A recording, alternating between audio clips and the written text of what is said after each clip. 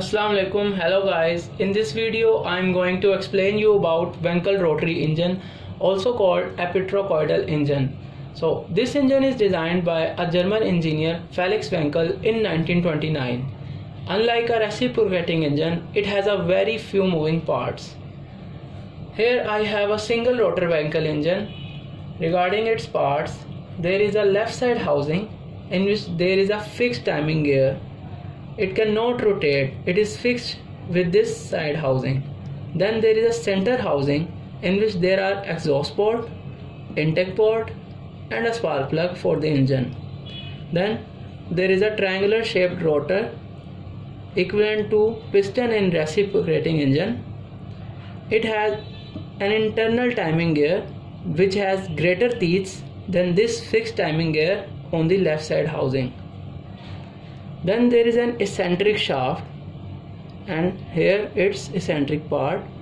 Then there is a right side housing. How is they gonna be attached? I am going to explain you this.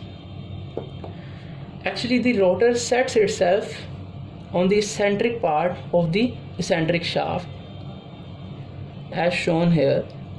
Then the center housing and the side housings are attached and attached by these assembly. So then this fixed timing gear on the side housing meshes with the internal timing gear of the rotor. And it ensures that the one complete rotation of the rotor is equal to the three rotations of this eccentric shaft. And meshing I am showing here the red one is for internal timing gear which is greater than the fixed timing gear shown by green here and the rotor is moving. And the gear is fixed. One complete rotation of the rotor is equals to the three rotations of this eccentric shaft. Next i am going to explain you about the combustion cycle for Wankel rotary engine. But first here it is then a epitrochoidal shape on which the design of the Wankel rotary engine is based. More specifically the housings are made just like epitrochoids. That's why these engines are also called epitrochoidal engine. Remembering this, one rotor rotation is equal to three eccentric shaft rotations. As I explained earlier, I am going to explain the cycle. Each side of the rotor AB, BC and CA is a combustion chamber. I am going to explain AB. The intake happens, then AB compresses the air fuel mixture then spark plug ignites and power produced will push the rotor in clockwise direction. Then the exhaust port will open and burnt gases will escape.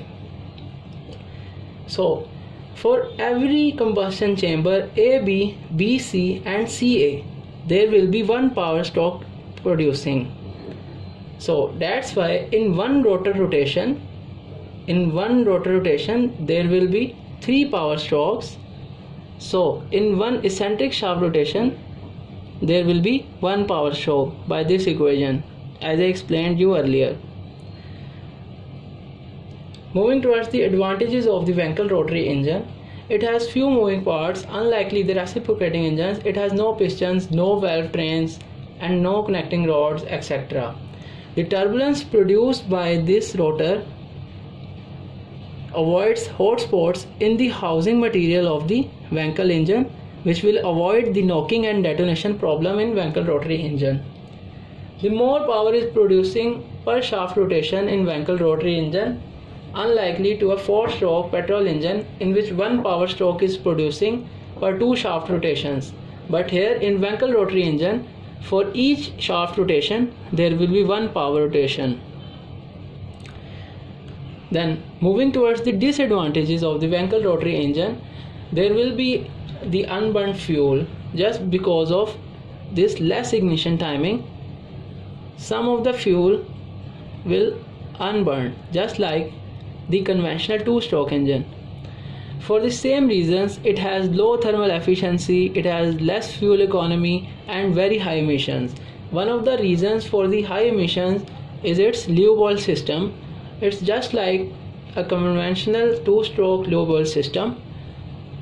For oil system it has a hole just besides the intake uh, the intake port for the Wankel engine. It has a hole for lubrication by which the lube oil is introducing in the engine and it will burn with the air fuel mixture which will produce high emissions.